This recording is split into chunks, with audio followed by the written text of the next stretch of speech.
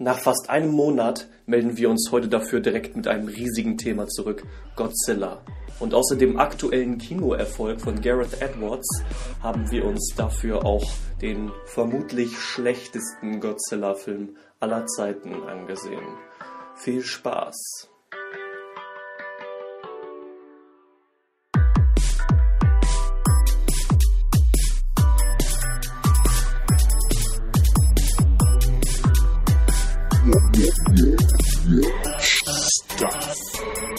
Herzlich willkommen zu Watch Stuff, Ausgabe Nummer 9 mit mir, Sagasu und Morbo. Hallo Morbo, wie geht's dir so?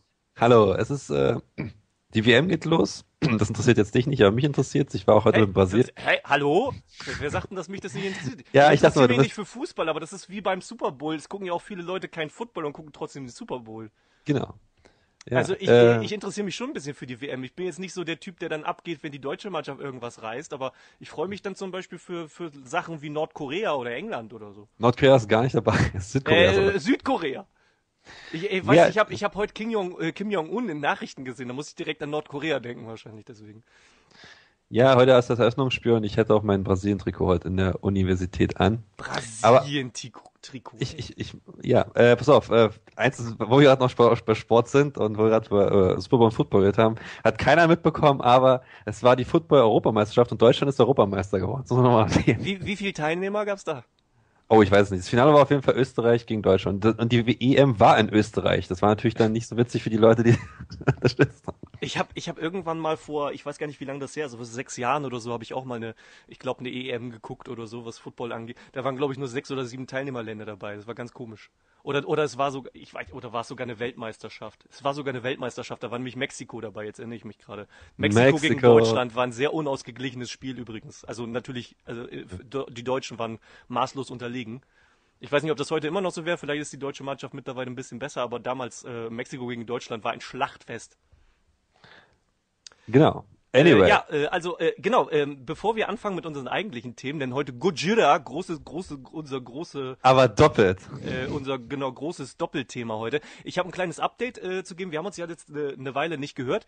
Ähm, ich habe ja letztes Mal ein bisschen über den Chromecast erzählt und ähm, ich habe den seitdem auch weiter benutzt und habe festgestellt, es gibt eine, es gibt ein Programm, ähm, das kann man auch ähm, über über den Browser benutzen, dann kostet das auch nichts. Das heißt Plex, P-L-E-X und äh, da kann man sich dann, ich glaube, da wird einem so ein Server zu, zugeteilt und da kann man sich dann so eine Mediathek anlegen mit mit mit äh, Dateien, die man selbst auf dem Rechner hat, also Filme, die man sonst irgendwo her erworben hat oder so. Die kann man sich dann da ähm, in, in Ordner äh, reinlegen und das kann man dann alles auch über den Chromecast äh, äh, abspielen im Browser. Und da, das sind, äh, ist auch völlig unabhängig bis jetzt gewesen bei mir. Also haben alle Dateiformate funktioniert. Kann ich sehr empfehlen. Sehr gute Qualität. Äh, ja, äh, also wie gesagt, wenn jemand den Chromecast hat und äh, die Filme, die er auf dem Rechner sonst ähm, hat und gucken würde, lieber über den Fernseher gucken möchte, kann er das mit der mit dem Programm Plex tun.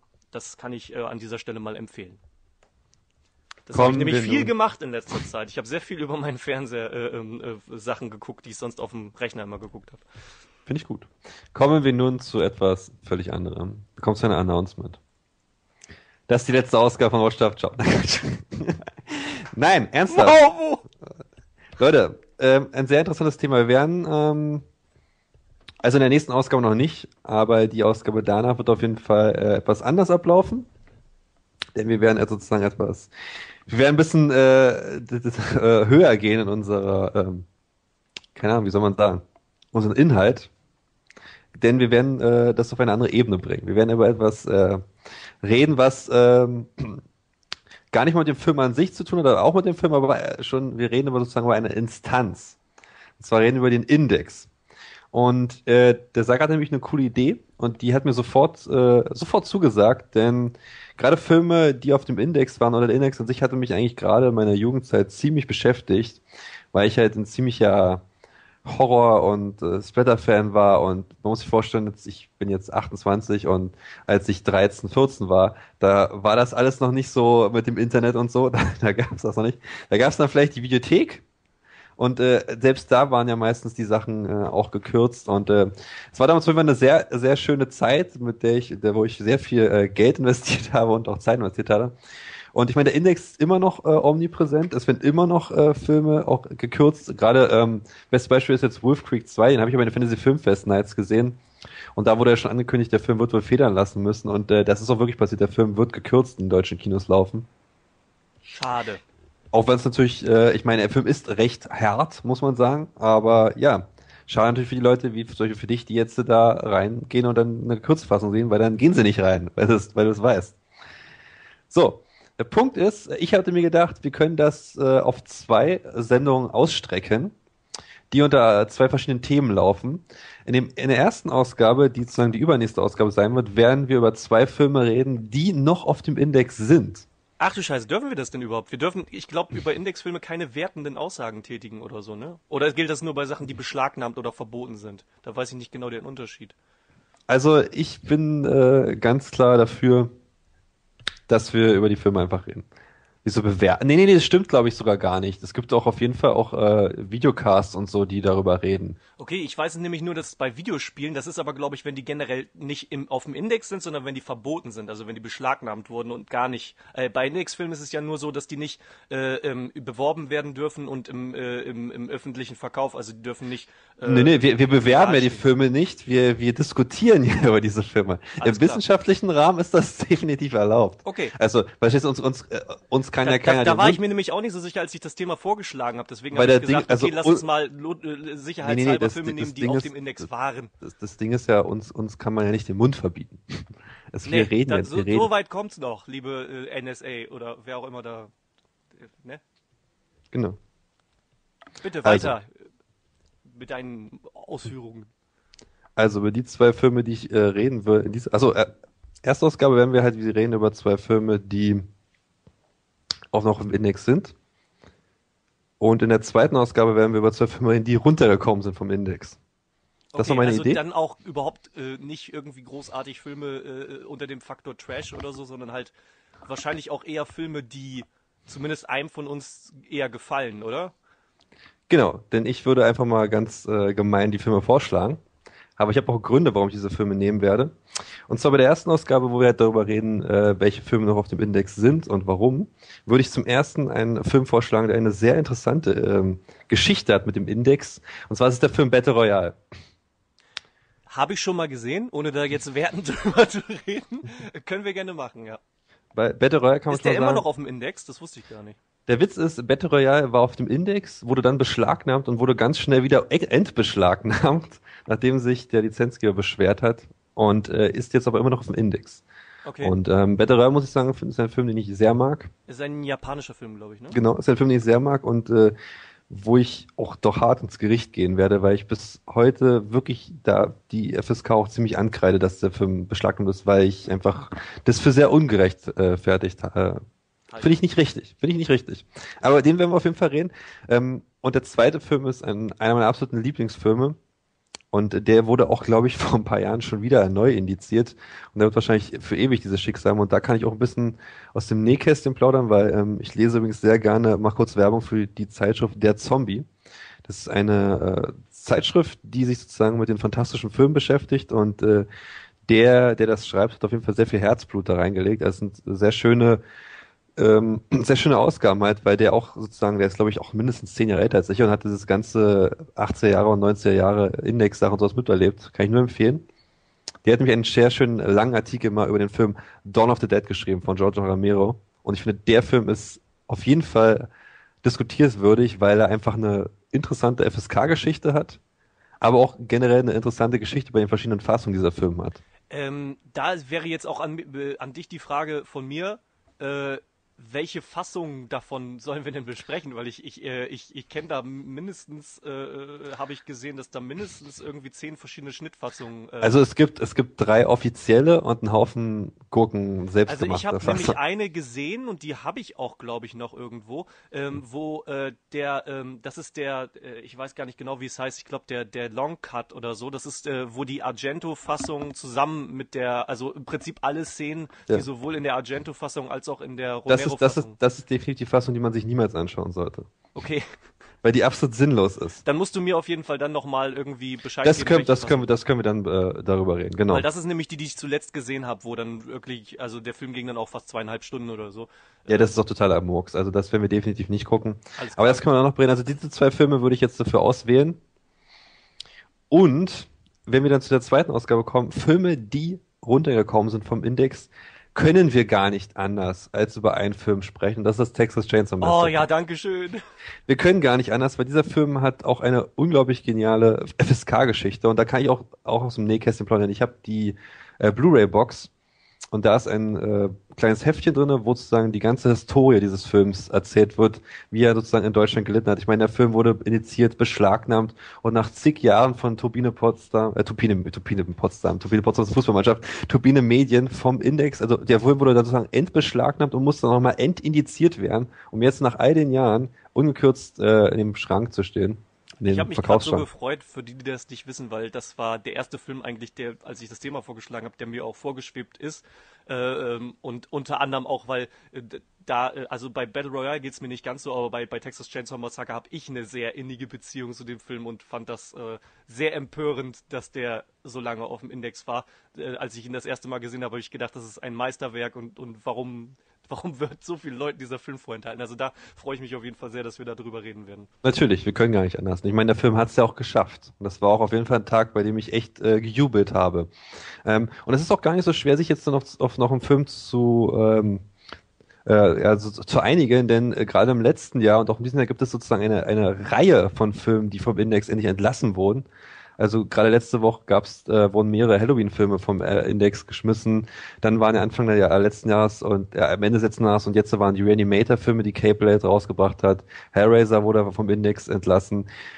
Aber Du Freitag hattest- der 13. ist noch drauf, glaube ich. 2013 ist immer noch drauf, aber auch das wird sich ändern. Ähm, du hattest vorgeschlagen, der Blutierfahrt Gottes ist ein cooler Film, mag ich, aber ich muss sagen, ich hatte eigentlich einen viel, einen, einen viel lieberen äh, Kandidaten, Hau der auch sehr, sehr bekannt ist. Ganz einfach, das hat auch für ziemlich verursacht, das ist Robocop. Äh, bin ich auch mit einverstanden. Habe ich auch erst. Ich wusste gar nicht, dass der jetzt komplett Ja. in der ungeschnittenen Fassung draußen äh, äh, runter ist vom Index. Ja. Das weiß ich, weil ich habe mir nämlich den, an dem Tag, als die rauskommen, die Blu-ray habe ich mir gekauft. Ich habe mir gedacht, zack, den muss ich mir kaufen.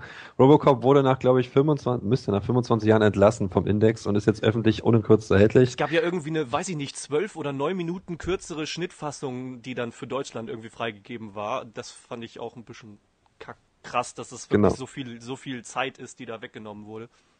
Nee, das, das Also- äh, bin ich auch mit einverstanden. Robocop habe ich auch.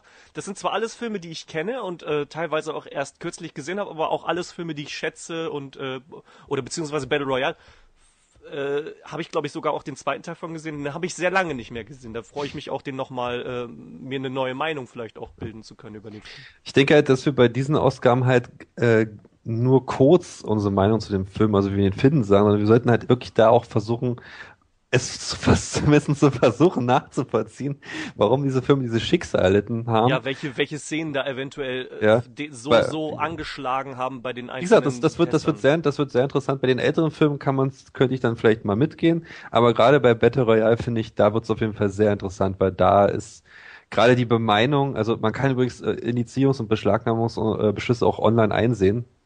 Und da, äh, da, das gra- sollten wir dann auch da, das Absolut. sollten wir am besten beiliegen haben oder und, uns dann auch irgendwie darauf, äh, dass wir das uns Ja. während der Sendung auch darauf beziehen können. Das finde ich ganz gut, glaube ich. Und, und, und gerade Battle Royale hatte da, glaube ich, damals wirklich ab, absurd äh, amüsante Passagen, die ich da gelesen habe. Aber das ist halt viel Zeit, das werden wir, wie gesagt, ich glaube, dann planen wir wirklich ein bisschen weiter. Das ist nämlich auch ein bisschen Arbeit, Mhm. muss man sagen. Da ist ein bisschen Arbeit drin, also das werden wir wirklich erst so ab Mitte Juli, wenn mein Semester vorbei ist, angehen. Aber ich glaube, wenn wir das richtig gut machen, dann wären das auf jeden Fall sehr, sehr schöne Ausgaben.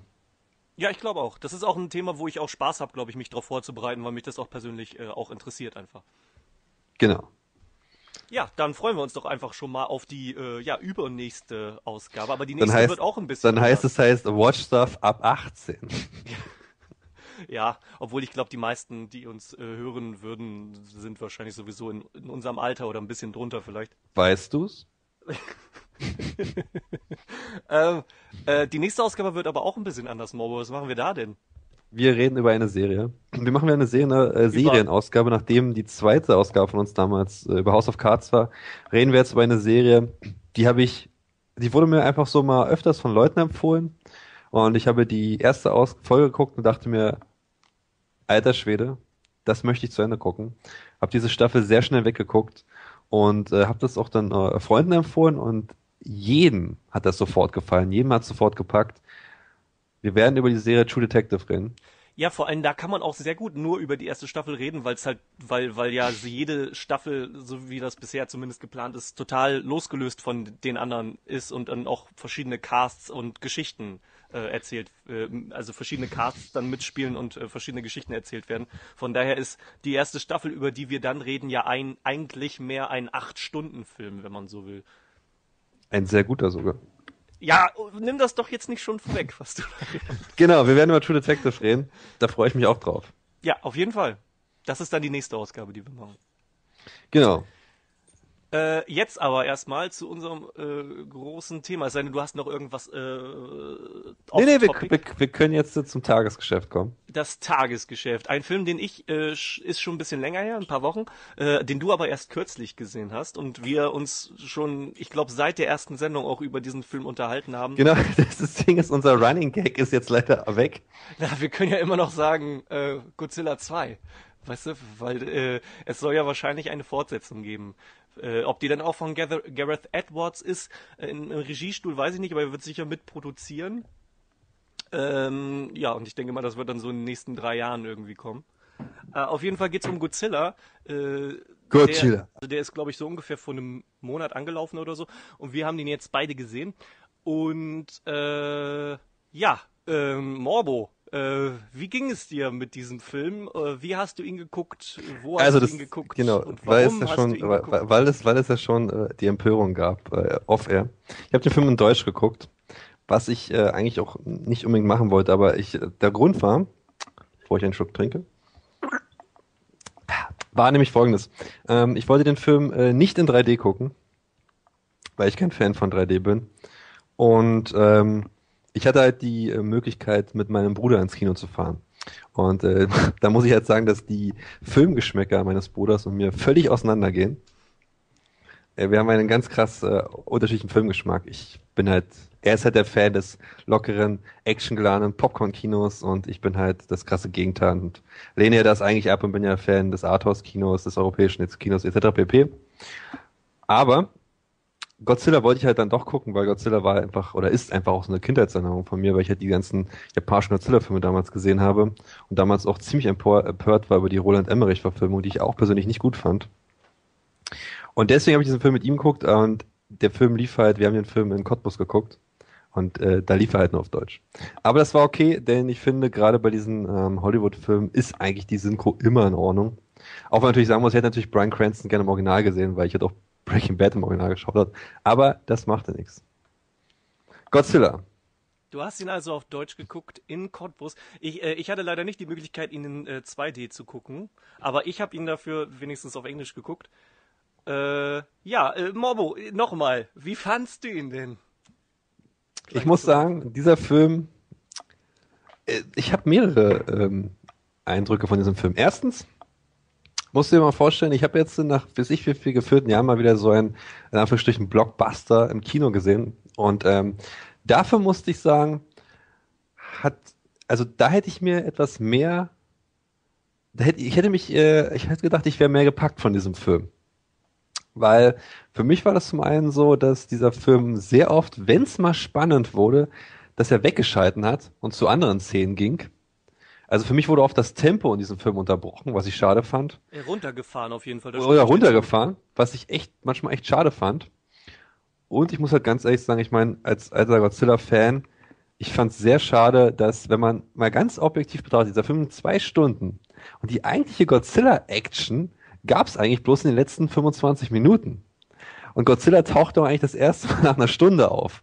Natürlich ist dieses andere Monster schon vollziehen, aber ich fand, für mich persönlich war eigentlich zu wenig Godzilla und zu viel kleinerer Dutch-Story mit dem äh, Sohn und seinem Vater etc. Aber jetzt kommen wir schon genau zu dem Punkt, den du äh, als Mangel anführst und der mir am besten gefallen hat an dem Film, nämlich was ich total großartig fand und das, das habe ich lange nicht mehr gerade bei so Monsterfilmen gesehen, das ist irgendwie zuletzt, glaube ich, in den 80ern gemacht worden, ähm, dass man, dass, dass, dass, dass dieses, ähm, dass das Monster und dass du das Monster siehst und wie das Monster jetzt in voller Größe aussieht und so, dass das mit äh, zum Spannungsaufbau des Filmes gehört. Und das fand ich total großartig, dass du immer wieder so leicht geteased wurdest und so einen kurzen Moment hattest und ihn leicht gesehen hast oder nur von der Seite oder nur das Bein oder so.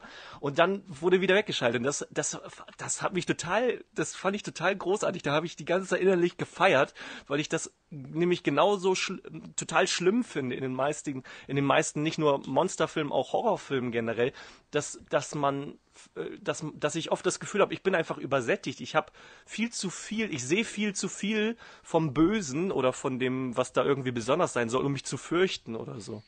Oder, oder um irgendwie gespannt zu sein oder um das toll zu finden oder um das als was Besonderes anzusehen. Und das fand ich eigentlich total gut. Was ich, aber wo ich dir zustimmen muss, ähm, dass, dass zu viel, dass zu viel, ähm, äh, trotzdem zu viel Gewicht lag auf der Story dieses Sohnes. Das lag aber für mich auch daran, dass ich das nicht toll fand, dass ich einfach ähm, äh, diesen Schauspieler in der Rolle nicht toll fand und die Rolle oh, auch nicht gut. Nee, das war, das war sehr, äh, sehr, naja, ja. Also gerade ich um mal jetzt sozusagen auf das kurz auf das Ende zu kommen, ich äh, nur ganz kurz, ich fand es sehr schön, dass der Film wirklich mit Godzilla endete. Ich hatte wirklich die die Befürchtung, dass es mit eigentlich mit dem Jungen endet, was mir überhaupt nicht gefallen hätte, weil letztendlich ähm, ja, es war zu viel Gewicht, fand ich, auf diese Nebenstory über diesen äh, Sohn, der sozusagen äh, ja immer an seinem Vater gezweifelt hat äh, und der wusste halt immer, dass müssen wir eigentlich die Geschichte erzählen dieses Films?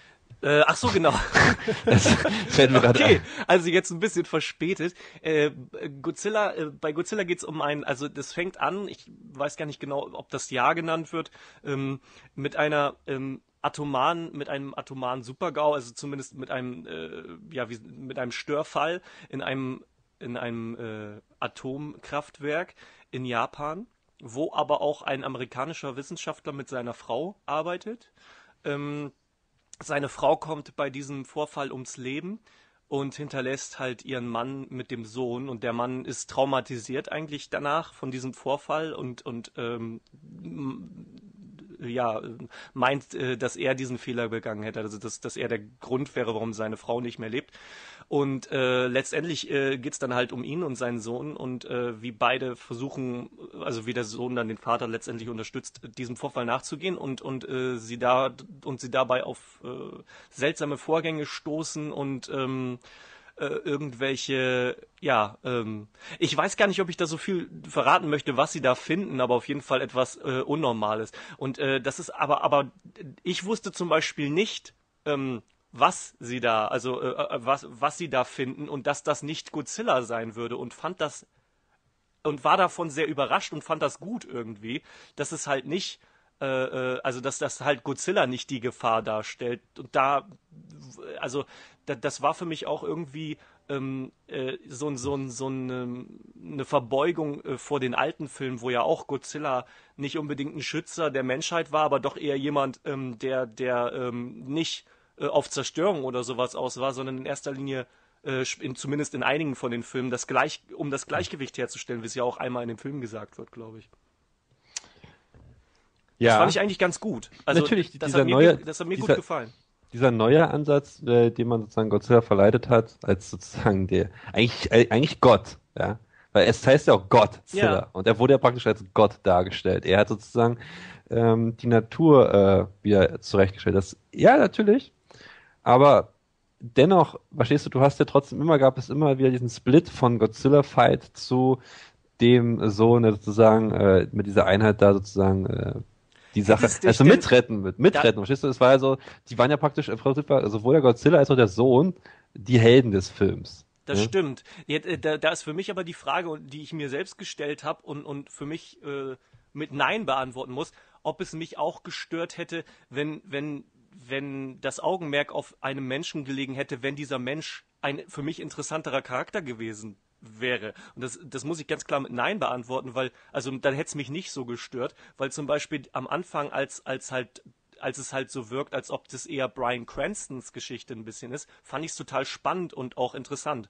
weil ich Brian Cranston äh, erstmal als Schauspieler und auch in dieser Rolle viel interessanter fand als seinen Sohn, der dann leider äh, ab, ab äh, ungefähr 20, 30 Prozent des Films äh, was die Menschen angeht, leider die Hauptrolle einnimmt. Das, da, das muss ich, da muss ich zustimmen, das fand ich auch schade, aber generell, dass das Augenmerk auf, den, auf der menschlichen Geschichte und auch auf der menschlichen Perspektive äh, liegt und dass man aus der menschlichen Perspektive sozusagen diese Vorfälle sieht, fand ich eigentlich gut. Also das fand ich als, als äh, Stilmittel eigentlich total toll, weil auch, auch, dass man oft irgendwie mit anderen Menschen zusammen durch ein Fenster oder durch eine Tür irgendwie die Vorfälle gesehen hat. Das fand ich eigentlich total gut. Nur halt diese Rolle von dem Jungen fand ich total uninteressant und unnötig äh, und dementsprechend auch genau wie du störend, dass er so viel Raum eingenommen hat. Aber Brian Cranston zum Beispiel oder auch Ken Watanabe, wo ich, wobei ich seine Rolle ein bisschen eindimensional fand, äh, da kann er aber nichts für. Äh, aber die beiden fand ich wesentlich erträglicher und mich haben auch nicht die Szenen gestört, wo die jetzt irgendwie groß äh, was zu sagen hatten oder was gemacht haben. Ja, das habe ich mir auch gedacht, so äh, ganz ehrlich, fuck, jetzt ist Brian Cranston raus aus dem Film. Ja. Ja. Also das fand ich wirklich schade, weil ich dachte mir, oh nein, jetzt geht das alles wegen ihm, weil ich finde, guck mal, gerade die, die Figur des Brian Cranston, der hat doch damals sozusagen prophezeit, was passiert und eigentlich war das sein Ding und ich fand das, fand ich, äh, weil der Film wurde auch eigentlich so beworben, dass halt Brian Cranston eigentlich die Hauptrolle in dem Film hat, mal ganz ehrlich. Also er war immer auf den ganzen Bildern zu sehen. Er ist ja auch eigentlich der größte, na gut, Jeanette Binoche, aber die ist ja noch nicht lange in dem Film. Also von daher. Die ist, die ist noch kürzer. Die ist wohl noch kürzer in diesem Film. Die dachte, die war wahrscheinlich gerade am Set und dachte, ja komm. Aber äh, ich also, weiß nicht. Also, also wir sind uns einig, dass wir, dass wir den Sohn, was, woran auch immer es lag, nicht wirklich interessant fanden und seine Geschichte. Weiß ich nicht. Es ist schwierig. Ich habe halt, wie gesagt, wirklich so ein, so ein gemischtes Gefühl bei diesem Film. Ich meine, man, man kann jetzt nicht über diesen Film gegenüber anderen äh, ich sag mal, anspruchsvoll, anspruchsvolleren Filmen jetzt groß drüber reden, weil ich meine, der Film erzählt halt eine Geschichte, ist Unterhaltungskino. Äh, äh, und ich finde, wir sollten, ich weiß nicht, also genau, ich habe meine Meinung dazu gesagt, ich fand das halt ein bisschen schade, aber ich will jetzt auch eigentlich mal die guten Seiten des Films erzählen. Ich wollte gerade sagen, äh, Wollen wir hau doch mal gut? raus, was du wirklich gut fandst, das will ich nämlich auch noch sagen, was mich besonders den. gepackt hat, warum ich eigentlich sage, dass ich Godzilla fast großartig fand, oh. trotz dieser, ja, ich, ich bin wirklich total begeistert gewesen, als ich aus dem Kino kam, äh, trotz dieser ganzen Sache, die mich gestört hat und für mich hätte man diesen Typen erstmal komplett anders besetzen und die Rolle auch anders anlegen sollen, aber ich fand trotzdem andere Aspekte in dem Film so gut, dass der Film für mich sehr, sehr gut ist und dass ich auch wirklich überlegt habe, ob ich mir den dann auf, auf Blu-ray hole oder so. Und zwar war dieser Film optisch eine Bombe. Das kann ich nicht anders sagen. Dieser Film war visuell großartig. Ähm, es gibt eine Szene in diesem Film, die fand ich richtig toll. Und das ist die Szene, also erstmal generell am Ende, äh, diese wirklich apokalyptische Stadt, in dem einfach Godzilla gegen das andere Monster kämpft, ist Wahnsinn. Dieser ganze, dieser dunkle Filter, dieser Rauchschwan am Himmel, das war ein reinste, äh, weißt du, dieses apokalyptische Bild, was da entstand, das fand ich super. Und äh, ich fand diese Szene genial, als sozusagen diese Marines aus dem Hubschrauber fliegen oder aus dem Flugzeug springen aus dem, aus dem äh, Flugzeug war das. Ja. Und weißt du, diese Szene, als sie an dem Godzilla vorbeifliegen und man sozusagen durch, durch die, äh, aus der Ego-Perspektive sehen konnte, wie diese Person an Godzilla vorbeifliegt. Das war eine fantastische Szene. Untermalt übrigens mit dem Soundtrack von 2001 Odyssey im Weltraum.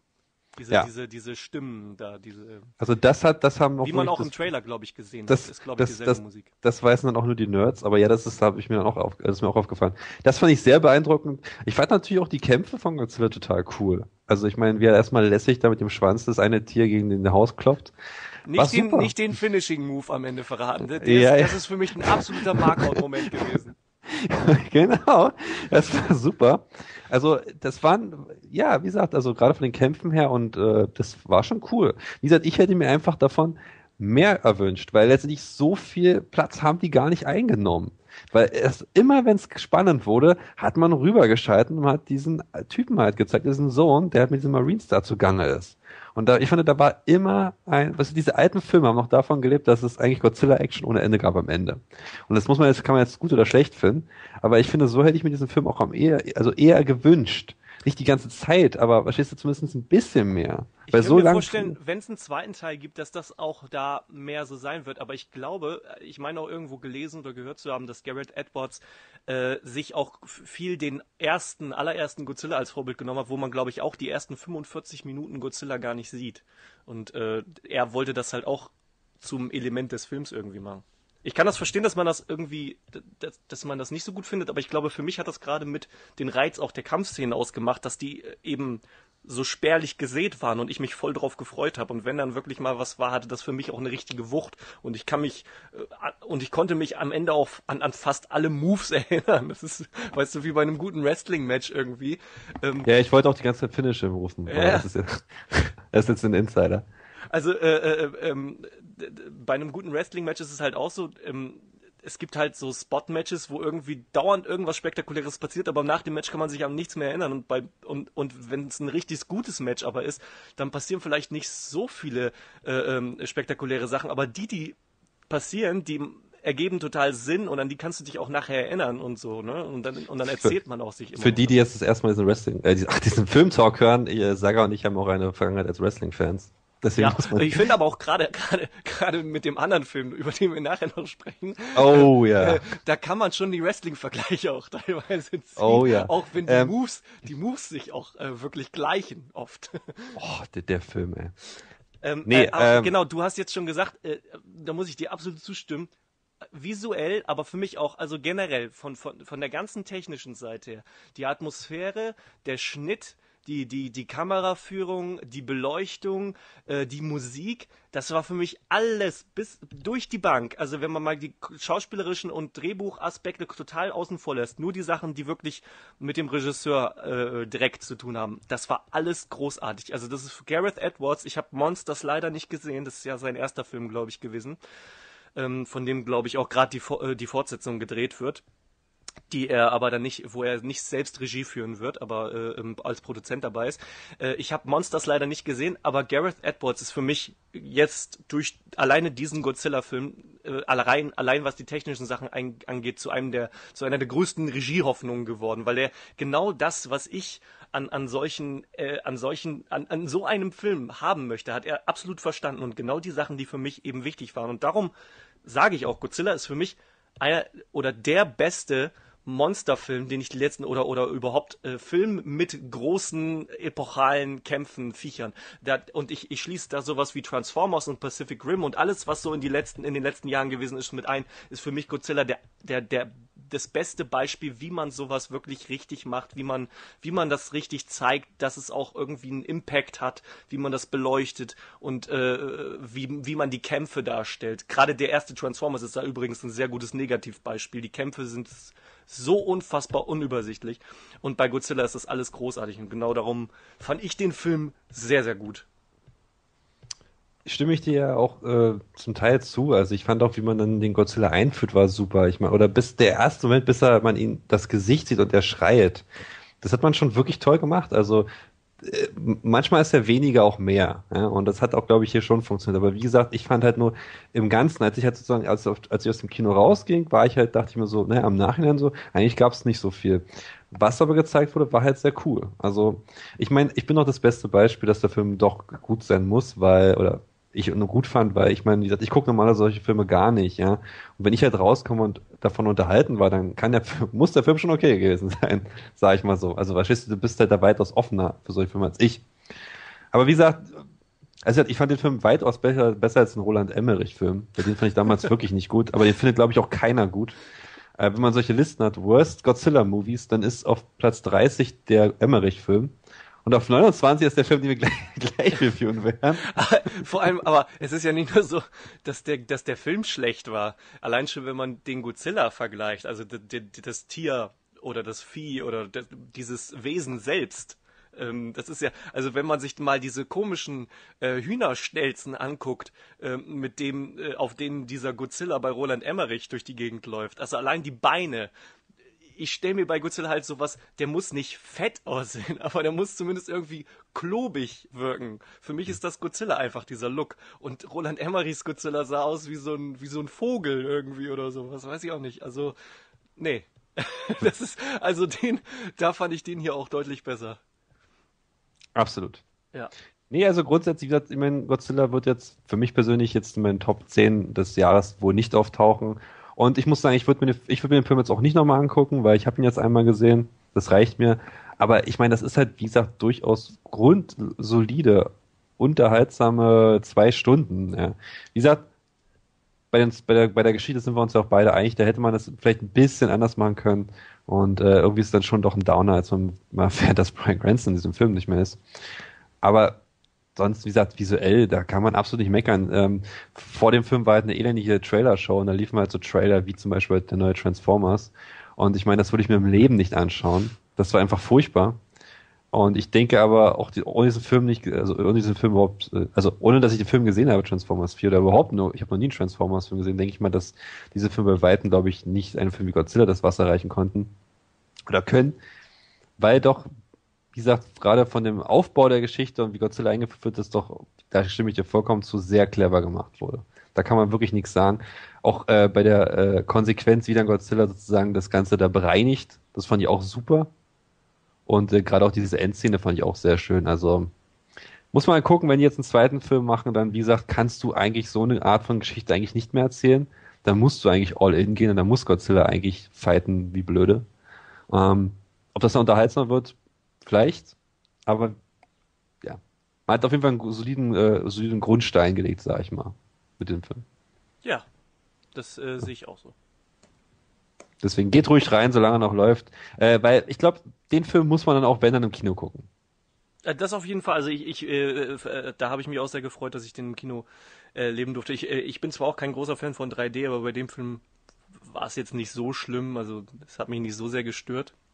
Ähm, ja, und das ist also es ist schon groß, glaube ich, wenn man es auf dem Fernseher sieht.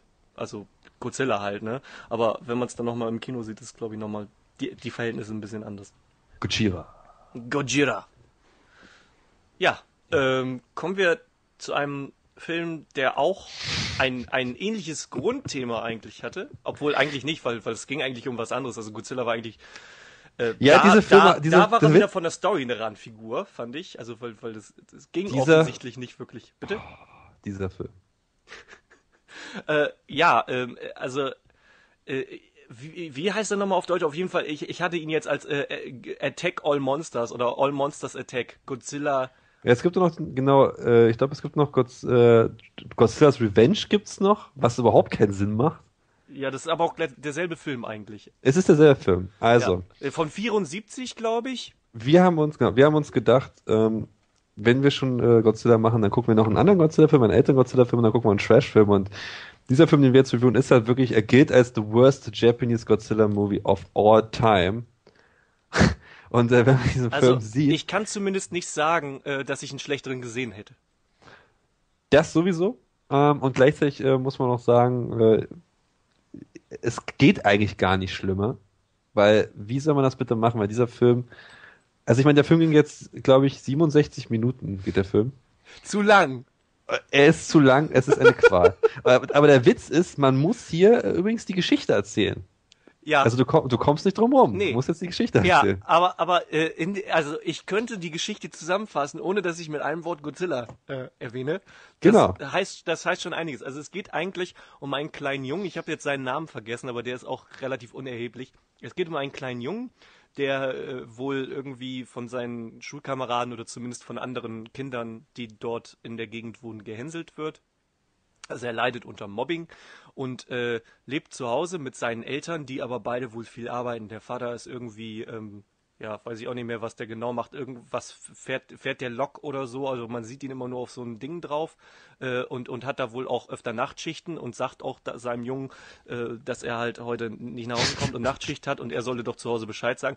Und ich weiß nicht, wie alt dieser Junge ist, irgendwie neun oder so. Oder zehn Er ist klein. Äh, relativ klein, aber äh, anscheinend äh, muten es, äh, also seine Mutter äh, muss dann wohl auch nachts arbeiten und die arbeitet in, in so einem weiß ich nicht, Büro oder irgendwo bei einer Buchhaltung äh, und, und äh, äh, ähm, macht dann auch Nachtschicht und äh, ja, der Junge ist dann jetzt allein zu Hause, mehr oder weniger, aber da ist ja der, der Opi, der den ähm, der den ähm, Spielwarenladen irgendwie hat und die wohnen über dem Laden oder ich habe es jetzt auch nicht ganz verstanden. Es ist doch egal, ganz ehrlich. Ist völlig egal, auf jeden Fall dieser, dieser Großvater, äh, äh, ähm, ja, der, der äh, äh, redet dann ein bisschen mit ihm und über äh, und, und zeigt ihm irgendwie so einen Computer. Äh, und der Junge hat wohl eine blühende Fantasie und, und schläft dann. Und das ist so das Running-Ding während des Films. Es geht immer darum, wenn er schläft, träumt er halt von der Monsterinsel, der Insel der Monster, wo halt Godzilla und, und, und diese ganzen anderen Viecher, wo ich die Namen nicht kenne, leben.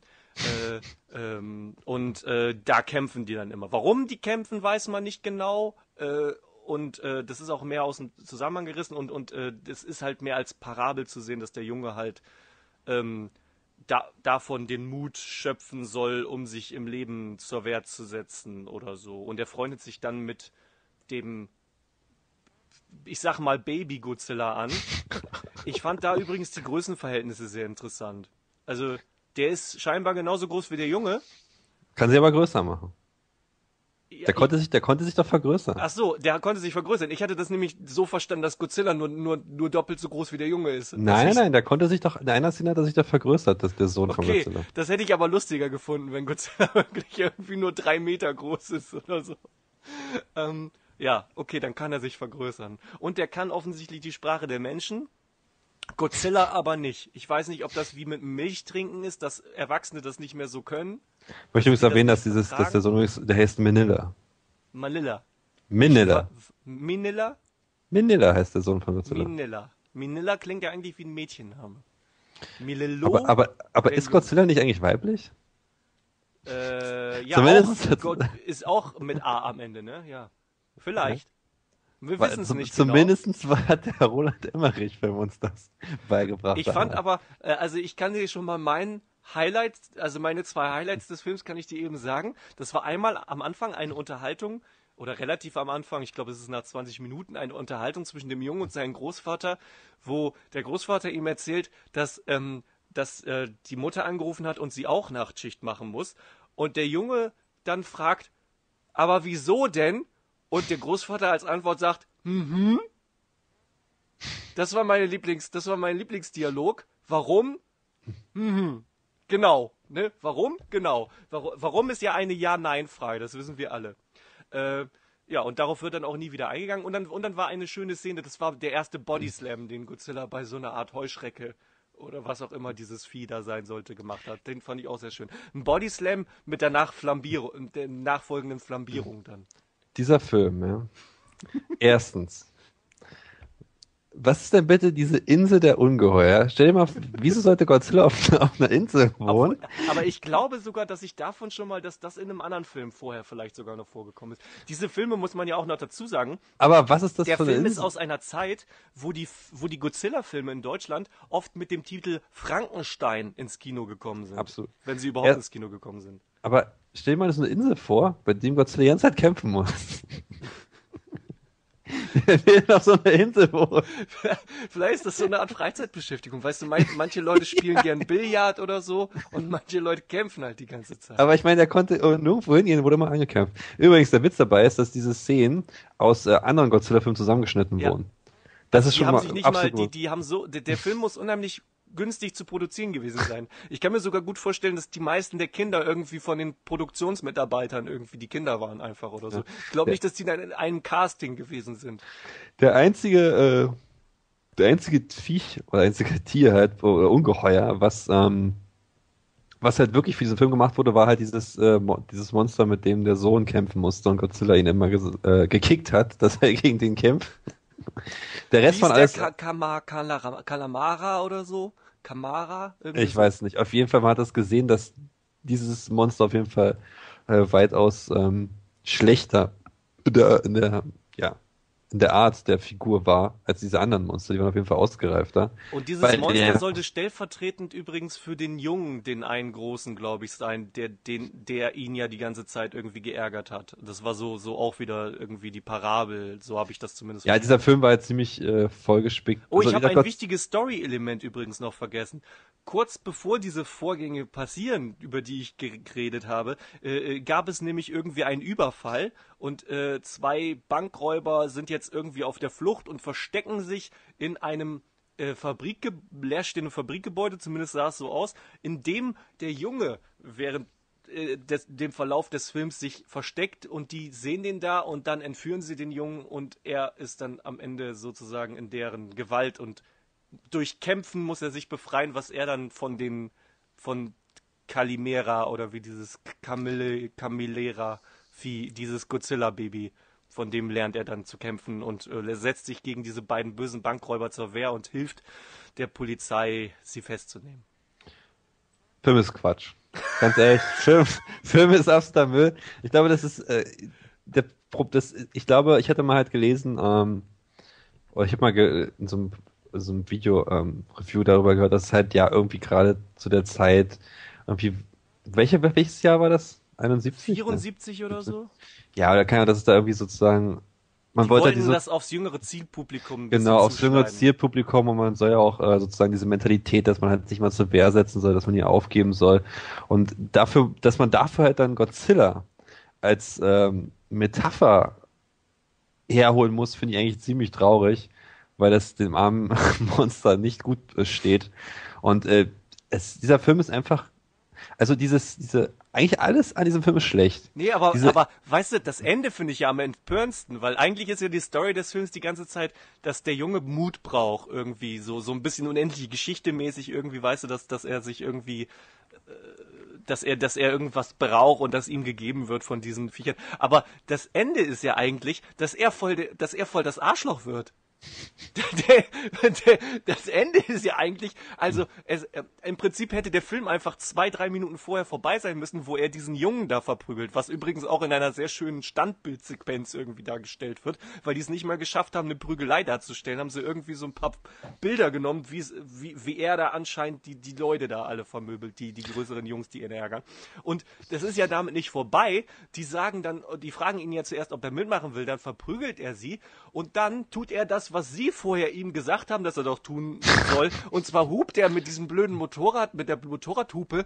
Der Typ, der da gerade irgendwie das äh, Plakat streicht, fällt von der Leiter wo, wo ich mir auch schon denke, die Leiter ist ziemlich hoch, aber es sieht dann irgendwie nur so aus, als ob die, die Farbe, eigentlich hätte er sich den Kopf aufhauen müssen, so wie der, wie der, wie der runtergefallen ist. Das war so ein bisschen, das war, das war und äh, Lauren ist es so. Ja, er, er fällt auf jeden Fall hin und kippt sich da irgendwie noch die Farbe übers Gesicht. Alle lachen und dann rennt er zu diesen und dann sagt er irgendwie noch zu seinem Vater, dass er, dass er den, den, diesen Typen da, den Maler aufhalten soll und er sich für ihn bei ihm entschuldigen soll. Also im Prinzip ist der Junge zu feige, um sich dann noch selber dem, dem Typen zu stellen, den er gerade irgendwie verarscht hat. Und dann rennt er zu diesen anderen Idioten, zu den Jungs, die er eben noch verprügelt hat, hin und, und ist dann anscheinend Mitglied der Bande Bande, wo ich mir gedacht habe, was ist denn das für ein Scheiß? Also ich meine, selbst in dem, selbst in dem Kontext, dass das ein schlechter Film ist, aber zumindest meinte ich vorher die Story äh, äh, verstanden zu haben, dass er sich irgendwie zur Wehr setzen soll und dass ihm dieses ganze Ding Mut geben soll. Und letztendlich wird er dann genauso ein Arschloch wie die anderen Jungs, die ihn vorher gehänselt haben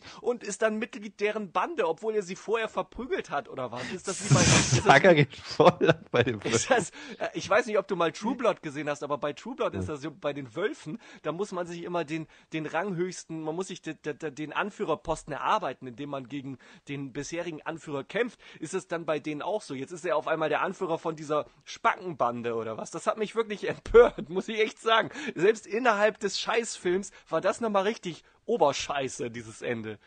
Also, was soll das für eine Botschaft sein, wenn das Kinder gucken? Werd auch so ein Arsch wie die, die dich, die dich äh, hänseln oder was? Das war ein schönes, eigentlich braucht man dazu nichts mehr sagen. Der Film ist wirklich scheiße. Man muss bedenken, diesen Film gab es lange in Deutschland nicht zu bekommen und irgendwann hat ihn äh, ein Label wieder auf, hat ihn wirklich äh, synchronisiert, diesen Film, weil es, glaube ich, wirklich der einzige Godzilla-Film war, der einfach nicht zu bekommen war in Deutschland.